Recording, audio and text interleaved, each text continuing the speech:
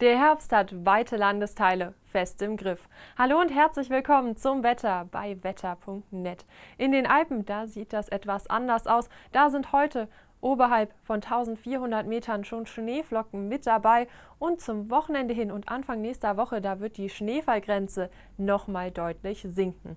Da lohnt es sich doch dann schon direkt die Handschuhe, die Wintermütze und auch die Stiefel wieder rauszusuchen. Bevor wir uns das genauer ansehen, schauen wir aber erstmal auf die Großwetterlagenkarte und da sehen wir, Tiefdruckgebiet Doris wird mit seiner Warmfront auf uns zukommen und die wird dann vor Dingen den Norden des Landes treffen. Dahinter kann dann auch erstmal warme Luft zu uns strömen, die Kaltfront und dann auch diese kalte Luft, die hinter der Kaltfront herankommt, die wird aber auch nicht lange auf sich warten lassen. Heute Nachmittag, da kommen die Werte dann auf 9 bis 18 Grad voran. Besonders an den Alpen wird es frisch bleiben. Im Osten, da wird es am wärmsten. Dazu werden immer wieder Regenschauer niedergehen. Diese wechseln sich aber mit freundlichen Abschnitten ab. In der Nacht, da werden die Werte schließlich auf 11 bis 3 Grad zurückgehen. Es sind einige Wolken unterwegs. Häufig können wir dennoch die Sterne sehen. Dazu fallen dann Regenschauer vor Dingen im äußersten Norden an der Küste und auch im Südosten sind ein paar Regentropfen mit dabei.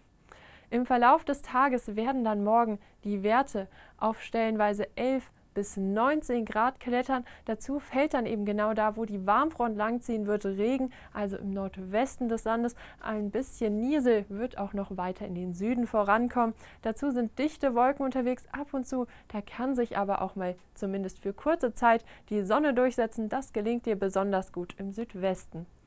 Am Freitag, da sind dann auch dichte Wolken unterwegs und nochmal einige Regentropfen, aber hier kann die Sonne sich auch mal zeigen und das bei Werten zwischen 13 und 20 Grad.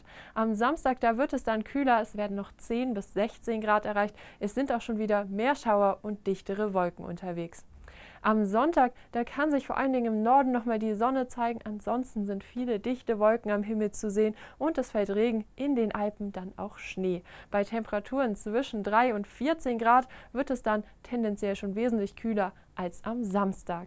Schauen wir noch einmal auf die Schneefallgrenzen. Da sehen wir schon in weiten Teilen des Landes, da werden wir noch keinen Schnee bekommen. Da bleibt es weiter herbstlich. Nur in den Alpen und am Alpenrand, da kann es schon ein bisschen winterlich werden. Am Sonntag früh dann über 1000 Meter, stellenweise Schnee und dann teilweise auch schon Schneeflocken über 1200 Metern.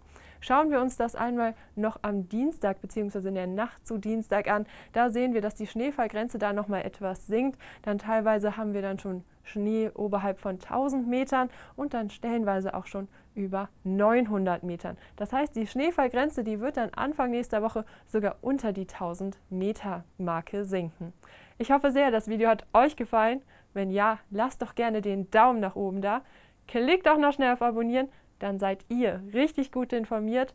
Habt einen wunderschönen Nachmittag. Tschüss und bis zum nächsten Mal bei wetter.net.